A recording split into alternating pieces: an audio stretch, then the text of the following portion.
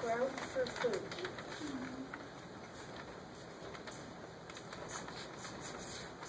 Tools to make tools. As far as we know, Havillians were the first animals to deliberately, purposely make and use tools. They made a sharp tool for chopping off branches. The flakes that came off were sharp and were used for scraping skins. Homo habilis are known for their stone-making tools they found by the water and mostly found in Kenya. Homo habilis, also known as the handy human, appeared about 2 million years ago. This hominid had more skills that lived alongside the last of the Australopithecines. Okay. Um, the brain of the Homo habilis was larger than the Australopithecines at the same time, but the brain of the Homo habilis is half the size of the modern human brain. One of the earliest Homo species, habilis, used tone, stone tools and may even have been capable capable of primitive speech. Homo habilis was the size of Miles, four foot six. The chopper and the biface were the first tools ever made by Homo habilis.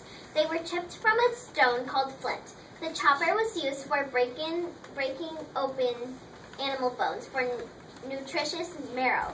And the biface, a tool sharpened on two sides, was used for cutting into animal carcasses and scraping the hides.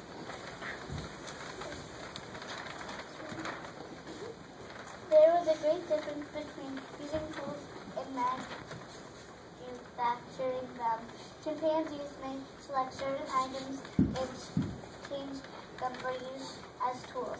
The humans are the only animals to use one set of tools to make other tools. This pebble tool comes from Old Yuba, George, and Tanzania, East Africa. Okay. Um, the handyman has more of a rounder head than Australopithecines.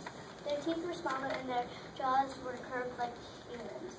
Compared to humans, Homo habilis are four feet tall and they are walking upright. Habilis lived in the open country. They preferred to camp near lakes. They collected food from the shallows and had drinking water. The climate was warm, but at night there were cool breezes, so they built shelters out of branches that were held in place by stones.